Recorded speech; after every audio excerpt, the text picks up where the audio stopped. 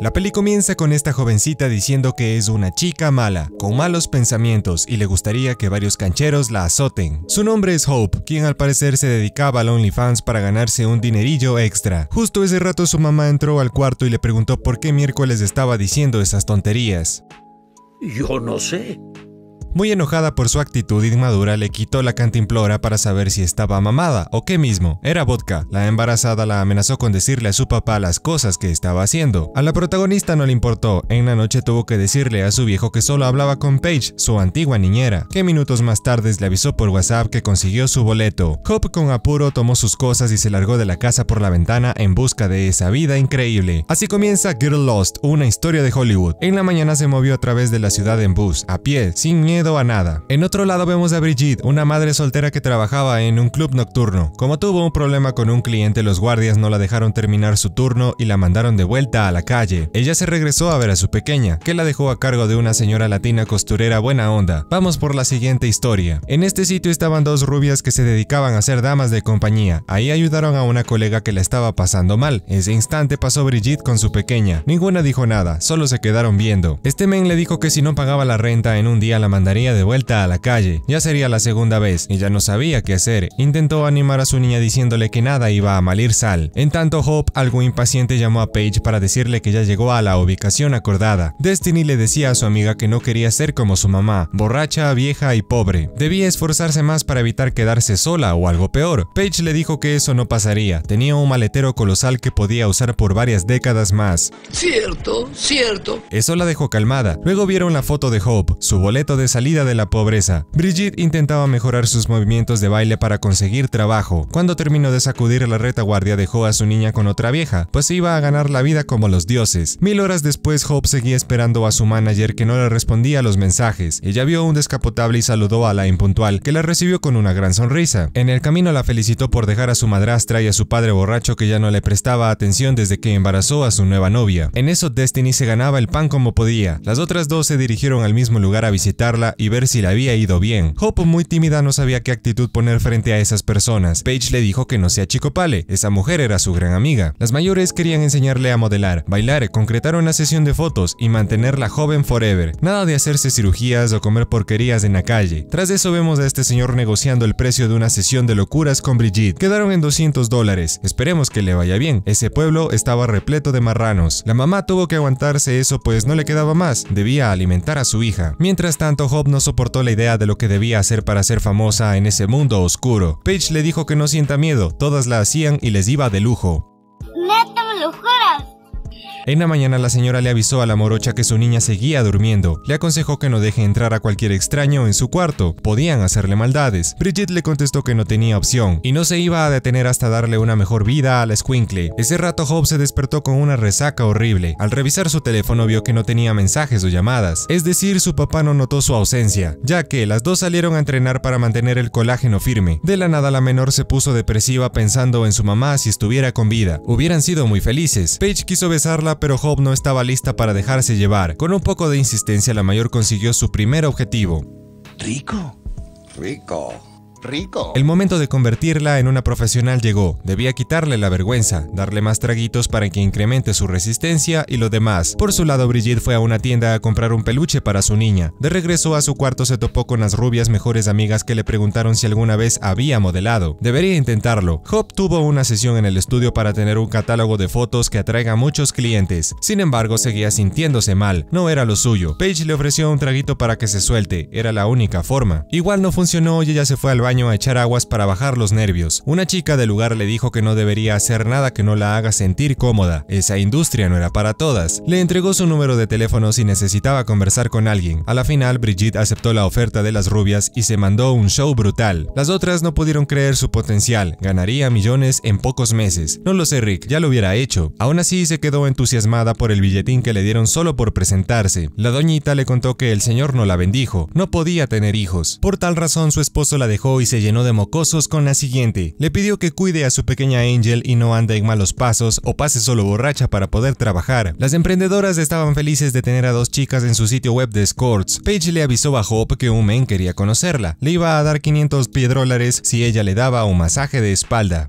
¿Dónde firmo? La jovencita no sabía cómo hacerlo. La experimentada le dio unos tips. No podía dejar pasar esos verdes. La cosa estaba a punto de ponerse turbia. Ella se armó de coraje y dejó que el empresario se divierta un montón. Tras eso se dio una ducha para quitarse lo sucio. Momentos muy duros de asimilar. Más luego la madre luchona de la vida recibió una llamada de Paige. Le avisó que un cliente iba a verla en pocos minutos. Brigitte al saber que ganaría 500 billetes se aventó un traguito de confianza para que le vaya súper bien esa noche. Sin darse cuenta dejó el vodka en manos de Angel que quiso probarlo para saber si era la medicina de su madre o no. Un error fatal, como todo lo que hacía para ser millonaria. En la mañana se dio cuenta que su hija empezó a imitarla, con el baile y los tragos. En una mansión bien chévere estaban las tres rubias. Las mayores conversaban con el dueño viejo de lo guapa que era Hope. Quería conquistarla cueste lo que cueste como dijo el buen Cap. La joven al descifrar sus intenciones se puso muy recelosa. Con el apoyo de sus managers decidió irse con él al cuarto. Después no podía encontrar su teléfono, no sabía que Paige lo votó. Acto seguido le preguntó a la mentirosa dónde estaban sus 500 dólares. Esta le respondió que los usó para pagar el casting de fotos.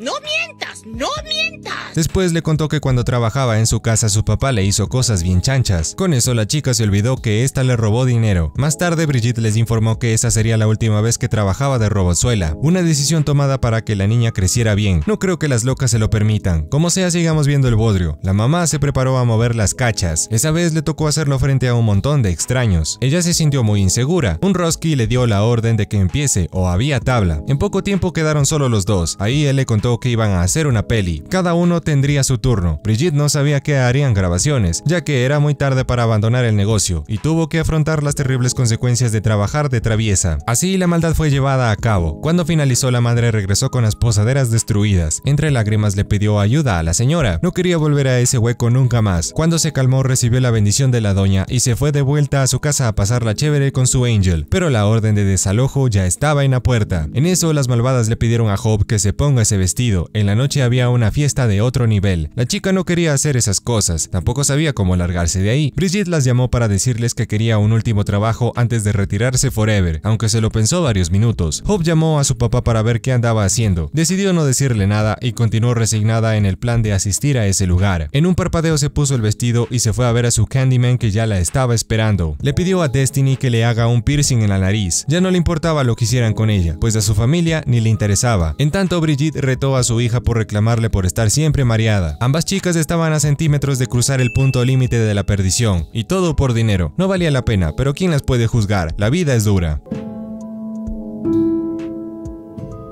El farrón empezó en ese vehículo. Las cuatro se divertían con los lujos que esos hombres les ofrecían. Destiny se quedó en una esquina esperando a su sugar como acordaron. Las otras ingresaron al club repleto de futbolistas brasileños. Mentira, bailaron entre ellas un largo rato. Brigitte le dijo a Hope que algo andaba mal y le sugirió largarse a casa. La inexperta no entendió lo que le dijo y se quedó. La morocha no, no iban a hacerle lo mismo dos veces. Hope ya no sabía ni quién era. Estaba en la estratosfera. En poco tiempo se quedó dormida en esa cama, justo lo que Paige estaba esperando. Había negociado con esos infelices un combo con todo incluido a cambio de mucho dinero. Escenas potentes, por lo menos la jovencita estaba bien dormida y no se enteró de lo que estaba sucediendo. ¿Para qué enemigos con esas buenas amigas que se consiguió? Por afuera vemos a Brigitte arrepentida por haber abandonado a la jovencita. El dueño del edificio llamó a la policía tras haber visto a la pequeña rondando sola. Quería que se la lleven y vengarse de esa mujer que no pagaba la renta. Más luego Paige esperaba que Hope reaccionara y pudiera ducharse por sí sola. Había mucho trabajo por delante. El policía se llevó a Angel detenida por andar sola a la medianoche con un libro de física en sus manos. Era muy avanzado para su edad. Si me preguntan, yo diría que algo se trae. Su mamá llegó a rescatarla, pero el comedonas no se lo permitió. Le informó que podía verla en el lugar de la tarjeta al otro día. Bueno, las cosas salieron mal, muy mal, menos para las dos sabias negociantes que metieron a Brigitte y Hope en ese feo negocio, del que no debieron ni siquiera asomar sus narices. Por si fuera poco, esta última vio la grabación del livestream que le hicieron y lo mucho que sus managers habían facturado. En un momento así, Solo se puede reír. sair.